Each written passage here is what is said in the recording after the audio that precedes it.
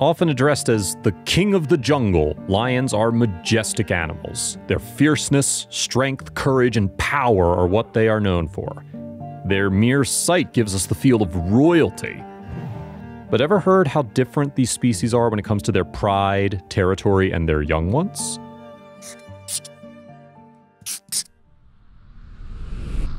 This story is about a lion cub from a zoo in Poland. Until he was born, the lioness was a protective one who loved and nurtured him.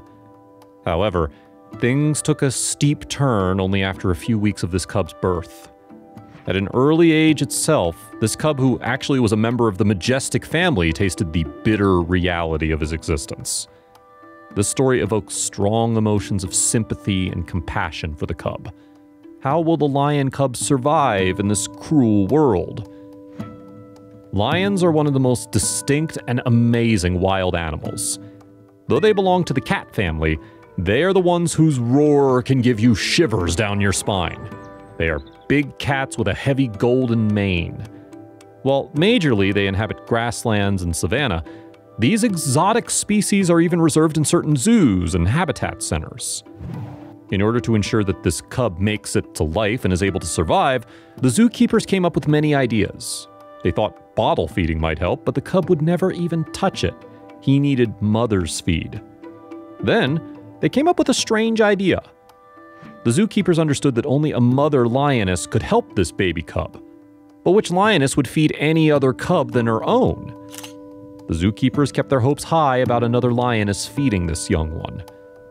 Unfortunately, in the zoo, there was no other nursing lioness who could be a second mother to this lion cub. The zoo authorities needed another idea to help this animal. And this idea was totally out of the box. The zoo had even inhabited a she dog named Carmen. And luckily, the dog recently only gave birth to a litter of puppies. The zookeepers came up with the idea that maybe this dog could help them with this lion cub. Maybe she could feed him. Was this even possible? Imagining a dog feeding a lion cub was itself a thought too crazy to be true. A dog family feeding a cat family? This was a very vague thought and an assumption too tough to happen. But the zookeepers were firm on giving it a try once. Carmen was a sheepdog, a breed which is known for being extra protective of their young ones. She was a caring and loving mother whose foremost priority was her newborns. This basic instinct of a sheepdog made zookeepers think that she would adopt the cub. Little did they know it wasn't an easy one. Carmen already had her many puppies to look after, and none could guarantee if she'd be up for feeding another being. Her paws were already full with her puppies. But without further delay, the zookeepers took the first step, and it was a little dangerous. The staff at the zoo placed the cub near the sheepdog, it was a risky step that they were taking as none were sure of the dog's reaction to this decision. They just hoped that this idea worked and that the little one got a mother. But was he lucky enough to get one? Also, if you have not done so already, please subscribe to our channel and click that notification bell to get inspired by these animal stories every day. Now back to the story. As the cub was placed next to the puppies, Carmen could sense something was different. She came close to the cub and began to sniff him and one knows a dog can never be wrong with its sense of smell. Carmen soon realized that a look-alike of her puppies was not hers, and in fact wasn't even a puppy. What next? Carmen got a little distant from this intruder. She did not know how to behave or react to this one. Poor cub. He was already devoid of his lioness mother, and now even Carmen seemed to do the same. But with time, something unexpected happened. After a week of staying in close proximity, Carmen developed an attachment with the cub. It came as a surprise to everyone that the dog who was always far from this cub was actually now licking and hugging him. The zookeeper's prayers were answered. But did this mean that she'll feed him as well? Everyone at the zoo drew a single conclusion that, as the sheepdog recently delivered the puppies, her motherly instincts were still intact. Maybe finding the lion cub this calm near her, well, it made her begin to care for him and look after him. The poor cub finally got a mother. But there was something more to be looked after. The staff was glad that the dog accepted the lion cub, but there was still one major problem. Would the puppies accept and allow the lion cub near their mother? The puppies could gang up together and could also stop the cub from coming close to their mom. Until now, the zoo staff had kept the cub close to Carmen and not her pups. They decided to place the pups also with the cub and see the reaction.